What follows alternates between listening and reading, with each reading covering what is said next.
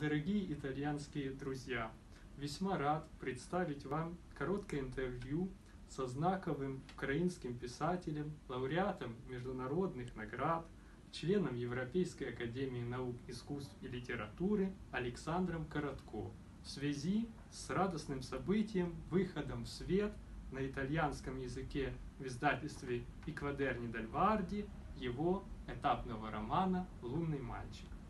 Уважаемый Александр, я рад поздравить вас с выходом вашего романа на итальянском языке. Спасибо. В украинской литературе он уже был отмечен среди прочего и премией имени Максимилиана Кириенко-Волошина Национального союза писателей Украины. Произведение это этапное для отечественной словесности. А, и за псевдодетективным сюжетом здесь ощущается вскрытие разрастающихся э, метастаз духовного вырождения в украинском обществе и вскрытие механики капиталистических отношений, которые в 90-е годы были у нас, э, начали у нас развиваться. Э, в этих условиях как бы вы обозначили то творческое кредо, которое подвигло вас на создание этого произведения – и остается ли оно актуальным для вас ныне? Спасибо. Спасибо за вопрос, поскольку у нас очень сжато время. Буду стараться быть более лаконичным. Творческое, мое творческое кредо остается неизменным. Я могу его сформулировать, мне это сделать очень просто – это, оно заключается в следующем. В своем творчестве я всегда желаю только одно, чтобы моя литературная, художественная правда была выше правды земной.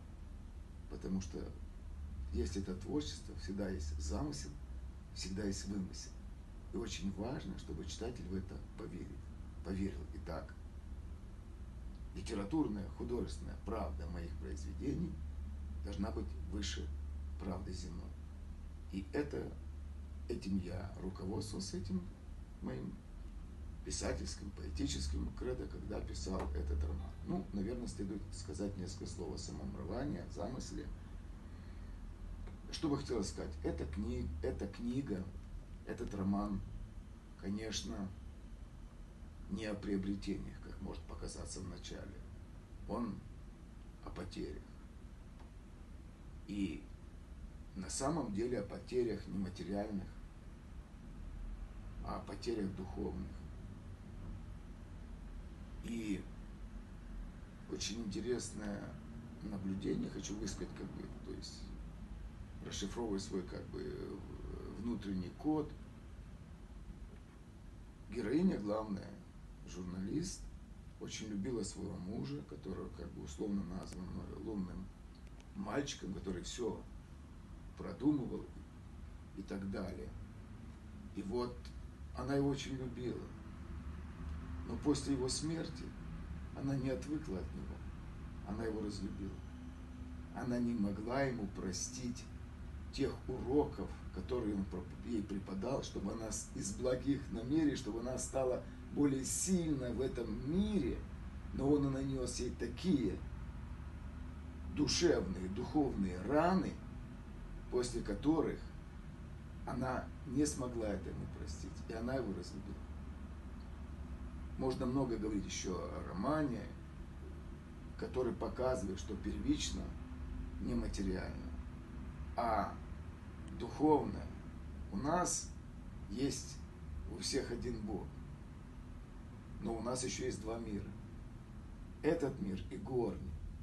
И как раз героиня и ее душа, как главный герой, я считаю, указывает этот путь. Поэтому, если вернуться еще к поэтическому кредо, я бы сказал, какие, как должен сегодня писатель, на мой взгляд, творческий человек отражать эту реальность. Очень апокалиптическую, я сказал нестабильную, и очень многие люди потерялись в этом мире. Я считаю, что его позиция должна быть как позиция отстраненного, рефлексирующего наблюдателей и созерцателей. Five minutes. Благодарю вас за увлекательную беседу, Александр, и желаю вашему переводу итальянского, итальянскому переводу романа «Лунный мальчик» счастливого пути к сердцам итальянских читателей. Спасибо.